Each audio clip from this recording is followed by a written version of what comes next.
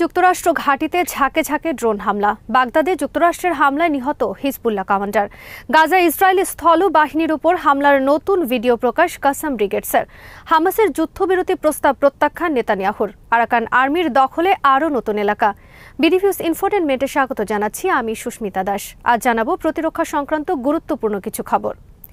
সিরিয়ায় যুক্তরাষ্ট্রের সবচেয়ে বড় সামরিক ঘাঁটিতে বৃহস্পতিবার ছাকে ছাকে ড্রোন হামলা চালিয়েছে ইরাকের একটি মিলিশিয়া বাহিনী। বুধবার বাগদাদে ড্রোন হামলা চালিয়ে যুক্তরাষ্ট্র হত্যা করেছে মিলিশিয়া বাহিনী কাতাইভ হিজবুল্লার শীর্ষ নেতা আবু বকর আল সাদিকে এর জবাবে কাতাইভ হিজবুল্লাহ বৃহস্পতিবার তীব্র ড্রোন হামলা পরিচালনা করে সিরিয়ায় যুক্তরাষ্ট্রের ঘাঁটিতে। সিরিয়ার উত্তরে আল ওমর তেল ক্ষেত্রের কাছে অবস্থিত এ ঘাঁটিতে এর আগেও বেশ কয়েকবার হামলা চালিয়েছে ইরাকে অবস্থিত ইরানপন্থী মিলিশিয়া বাহিনী, কাতাইভ হিজবুল্লাহ। বৃহস্পতিবার সিরিয়ায় যুক্তরাষ্ট্রের ঘাঁটিতে হামলার খবর প্রকাশ করেছে ইসরায়েলের জেরুজালেম পোস্ট। তবে হামলায় ক্ষয়ক্ষতির কোনো তথ্য তাৎক্ষণিকভাবে প্রকাশ করতে পারেনি পত্রিকাটি। যুক্তরাষ্ট্র আর্মির সেন্ট্রাল কমান্ড থেকে এক বিবৃতিতে বাগদাদে হিজবুল্লাহর কমান্ডার আবু বকর আল সাদিকে হত্যার ঘোষণা দিয়েছে। অপরদিকে বুধবারও ইয়েমেনে বিমান হামলা চালিয়েছে যুক্তরাষ্ট্র, ব্রিটেন। লোহিত সাগরের উপকূলে অবস্থিত হোদাইদাহ বন্দর এলাকায় হুথি আর্মির স্থাপনা লক্ষ্য করে বিমান হামলা চালানোর কথা জানানো হয়েছে হুথিদের পক্ষ থেকে। গাজায় বুধবার ইসরায়েলি স্থল বাহিনীর উপর হামলার নতুন একটি ভিডিও প্রকাশ করেছে হামাসের কাসাম ব্রিগেডস। আগে এ ধরনের হামলার ভিডিও প্রকাশিত হয়নি। ভিডিওতে দেখা গেছে, একজন ইসরায়েলি সেনা অফিসারকে স্নাইপার বন্দুকের সাহায্যে গুলি করে হত্যা করছে একজন হামাস যোদ্ধা। গাজার পশ্চিমে আল জামিয়াত এলাকায় বুধবার চালানো হয়েছে এই অপারেশন। ঘটনাস্থলে ইসরায়েল আর্মির একটি টিম বুলডোজার পরিচালনা করছিল। এ সময় পাশে দাঁড়িয়ে তার তদারকি করে দুইজন ইসরায়েলি সেনা কর্মকর্তা। তাদের একজনকে পাশের ভবন থেকে স্নাইপার বন্দুকের সাহায্যে টার্গেট করে একজন হামাস যোদ্ধা। হামাস যোদ্ধার পিঠে সরাসরি গুলি লাগার পরে সে মাটিতে লুটিয়ে পড়ে। এ সময় পাশে দাঁড়িয়ে থাকা অপর অফিসার দৌড়ে পালায়। মাটিতে লুটিয়ে পড়ে সাহায্য চায় ইসরায়েলি সেনা। এরপর কিছুক্ষণ পরে তার মৃত্যু ঘটে। কাসাম ব্রিগেডসের পক্ষ থেকে বলা হয়েছে আল জামিয়াত এলাকায় দুইজন ইসরায়েলি সেনা অফিসার সহ মোট চার ইসরায়েলি সেনাকে স্নাইপার বন্দুকের সাহায্যে হত্যা করা হয়েছে। এছাড়া আরও কয়েকটি এলাকায় মিসাইল হামলা চালিয়ে হত্যা করা হয়েছে। অজানা সংখ্যক ইসরায়েলি সেনা। এছাড়া আলকুদস যোদ্ধারা খান ইউনিস শহরের পশ্চিম এলাকার সি ব্লকে একটি বাড়িতে কমপক্ষে দশ ইসরায়েলি সেনাকে হত্যার দাবি করেছে। দখলদার সেনারা এই বাড়িতে ঢুকলে পরপর দুই দফা হামলা চালায় যোদ্ধারা। বিস্ফোরণে আগুন ধরে যায় বাড়িটিতে। হামলার পর বাড়ির ভেতর থেকে তাদের আর্তচিৎকার শোনা গেছে। হামাসের পাল্টা যুদ্ধবিরতি প্রস্তাব প্রত্যাখ্যান করেছেন ইসরায়েলের প্রধানমন্ত্রী বেঞ্জামিন নেতানিয়াহু। বুধবার তিনি বলেছেন, পূর্ণ বিজয় ছাড়া তিনি হামাসের কোনো শর্তে রাজি হবেন না। এর আগে গত সপ্তাহে যুক্তরাষ্ট্র, মিশর, কাতারের মধ্যস্থতায় তৈরি করা প্রস্তাব প্রত্যাখ্যান করে হামাস। পরে মঙ্গলবার হামাস একটি পাল্টা যুদ্ধবিরতি প্রস্তাব দেয় ইসরায়েলকে। হামাসের এ প্রস্তাবে সাড়ে চার মাসের যুদ্ধবিরতির প্রস্তাব করা হয়েছে। প্রতি ধাপে দেড় মাস করে তিন ধাপে মোট সাড়ে চার মাস যুদ্ধবিরতি পালিত হবে। তিন পর্বের এ যুদ্ধবিরতি শেষে ইসরায়েলের সাথে স্থায়ী যুদ্ধবিরতি চুক্তি হবে এবং ইসরায়েলকে গাজা থেকে সমস্ত সেনা সরিয়ে নিতে হবে। বিনিময়ে সাড়ে চার মাস যুদ্ধবিরতিকালে হামাস সমস্ত জিম্মিদের মুক্তি দেবে।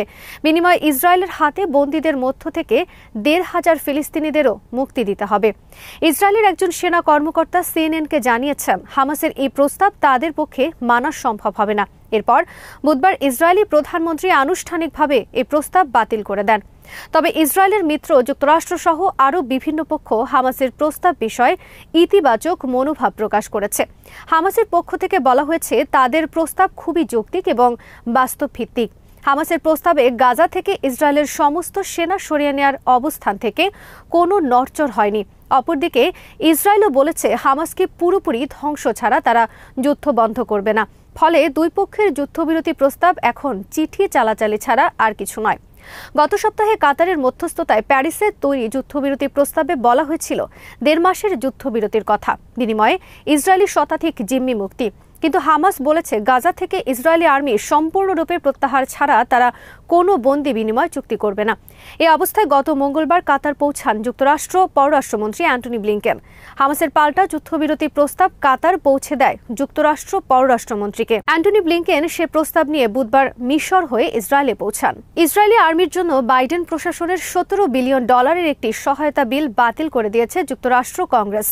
ডেমোক্রেটদের সাথে চোদ্দ জন রিপাবলিকানরা ইসরায়েলকে সহায়তা প্রস্তাবের বিরুদ্ধে ভোট দেন, ফলে বাতিল হয়ে গেছে গুরুত্বপূর্ণ এই প্রস্তাবটি। প্রস্তাবের বিরোধীরা জানিয়েছে, ইসরায়েল এবং ইউক্রেনকে পুনরায় কোনো সহায়তা করতে হলে শর্ত পূরণ করতে হবে। বিনা শর্তে এভাবে আর তাদেরকে সহায়তা করা যাবে না। যুক্তরাষ্ট্রের জাতীয় নিরাপত্তা উপেক্ষা করে এবং মেক্সিকো সীমান্তের নিরাপত্তা নিশ্চিত না করে ইসরায়েলকে নগদ সহায়তা করা যাবে না। প্রস্তাবের পক্ষে দুশো পঞ্চাশটি এবং বিপক্ষে একশো আশিটি ভোট পড়ে। দুই তৃতীয়াংশ ভোট পেতে ব্যর্থ হওয়ায় বাতিল হয়ে যায় প্রস্তাবটি। বাইডেনের দলের অধিকাংশ কংগ্রেসম্যান প্রস্তাবের বিরুদ্ধে ভোট দেন। ইসরায়েলের জন্য সতেরো বিলিয়ন ডলারের এ বিলটি ছিল রিপাবলিকান দলের স্পিকার মাইক জনসনের একটি চেষ্টা। বিল নিয়ে হোয়াইট হাউস থেকে এক বিবৃতিতে বলা হয়েছে, এটি ছিল স্পিকার মাইকের একটি কুৎসিত কৌশল। রিপাবলিকান স্পিকারের এ বিল বাতিল হওয়ায় রিপাবলিকানদের মধ্যে হতাশা নেমে এসেছে। মিয়ানমার আর্মি এবং আরাকান আর্মির যুদ্ধে বর্তমানে চলছে বাংলাদেশ সীমান্ত সংলগ্ন আরাকান রাজ্য। বিদ্রোহ দমনে মিয়ানমার আর্মি বিমান ও হেলিকপ্টার থেকে নির্বিচার বোমা বর্ষণ করে চলছে বিভিন্ন এলাকায়। উভয় পক্ষের যুদ্ধে সীমান্তে বাংলাদেশ অংশে বিরাজ করছে উত্তেজনা ও ভীতিকর পরিস্থিতি। বুধবার বাংলাদেশের স্থানীয় প্রশাসন বন্ধ ঘোষণা করেছে টেকনাফ থেকে সেন্ট মার্টিনগামী সমস্ত পর্যটনবাহী জাহাজ চলাচল। শনিবার থেকে এ নিষেধাজ্ঞা কার্যকর হবে। এর আগে মঙ্গলবার ভারতের পররাষ্ট্র মন্ত্রণালয় নির্দেশনা জারি করে রাখাইন থেকে সমস্ত ভারতীয় নাগরিকদের অবিলম্বে এলাকা ত্যাগের জন্য। বাংলাদেশের পররাষ্ট্র মন্ত্রণালয় থেকে জানিয়েছে, বুধবার পর্যন্ত মিয়ানমার থেকে বাংলাদেশে পালিয়ে আসা জান্তার সেনার সংখ্যা তিনশো উনত্রিশ জন। এদের মধ্যে মিয়ানমার আর্মির সদস্য ছাড়া পুলিশ এবং সীমান্তরক্ষী বাহিনীর সদস্যরাও রয়েছে। সর্বশেষ বুধবার বাংলাদেশে প্রবেশ করে মিয়ানমার আর্মির তেষট্টি জন সেনা। বুধবার ইরাপতির খবরে বলা হয়েছে, বাংলাদেশ সরকার মিয়ানমারের প্রতি আহ্বান জানিয়েছে বিমানে করে তাদের বন্দী সেনাদের ফেরত নেওয়ার জন্য। আরাকানের আরাকান আর্মি বুধবার বলেছে, তারা পালেতোয়া টাউনশিপে গুলি করে ভূপাতিত করেছে মিয়ানমার এয়ারফোর্সের একটি হেলিকপ্টার। গত মাসে চীন রাজ্যের পালেতোয়া টাউনশিপে তীব্র যুদ্ধের সময় হেলিকপ্টারটি তারা ভূপাতিত করে। আরাকান আর্মি বুধবার জানিয়েছে, তারা আরাকান রাজ্যের উত্তরে গুরুত্বপূর্ণ মিনবিয়া টাউনশিপ দখল করেছে। টাউনশিপে অবস্থিত মিয়ানমার আর্মির দুটি ব্যাটালিয়ন সদর দফতর দখলের মাধ্যমে মিনবিয়া টাউনশিপের ওপর পূর্ণ নিয়ন্ত্রণ প্রতিষ্ঠা করেছে। মঙ্গলবার শহরটি দখলের পর তাদের কাছে আত্মসমর্পণ করেছে মিয়ানমার আর্মির কয়েক ডজন জান্তা সেনা। উদ্ধার করা হয়েছে বিপুল পরিমাণ ভারী অস্ত্র। আজ এখানেই শেষ করছি। সমরাস্ত্র প্রতিরক্ষা কূটনীতির নানা তথ্য জানতে চোখ রাখুন বিডিফিউস ইনফোটেনমেন্টে।